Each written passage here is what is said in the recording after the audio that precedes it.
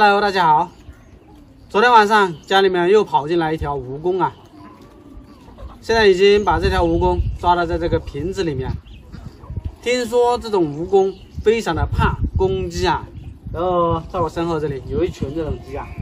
呃，等一下把这只蜈蚣放到呃这里面，看一下这种鸡会不会啄这只蜈蚣呢？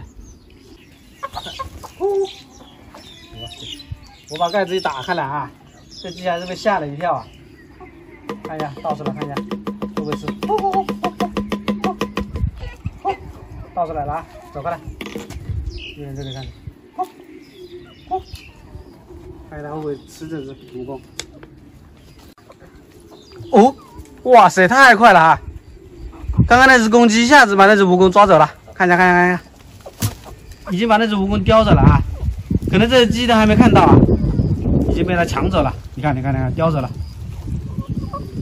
哇塞，看来这个公鸡啊，确实是很厉害哈。听说公鸡就是这种蜈蚣的天敌啊，说的非常的没错啊。它一眼就看中了这只蜈蚣，然后把它叼走了。跑掉了，跑掉了，还在它嘴巴里叼着，享受独食啊！它一个人跑到这里来吃。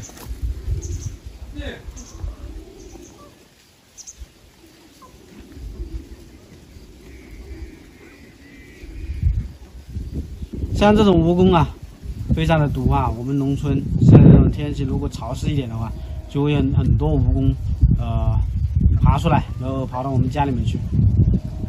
所以说，我们看到蜈蚣啊，一定要把它打掉。然后家里小孩子也是比较多，被它咬一下非常危险。现在这只公鸡已经把那条蜈蚣整个吞到肚子里面去了。哇，它还在磨了一下它的嘴巴，什么情况？已经吃掉了啊！看一下这公鸡啊，非常的凶猛啊！这两只公鸡还在打架了。刚刚那一只就是把那只蜈蚣吃掉的那只鸡啊，可能那一只鸡。看到之后啊，就跟他打架了。你看，哇塞，好厉害，好厉害！刚才把四十条腿的蜈蚣啊，放到三十多只鸡的鸡群里面啊，三秒钟的时间不到啊，就被一只鸡呃看到叼走了，然后把它吃掉了，场面非常的震撼啊！看来这个公鸡啊，非常的厉害。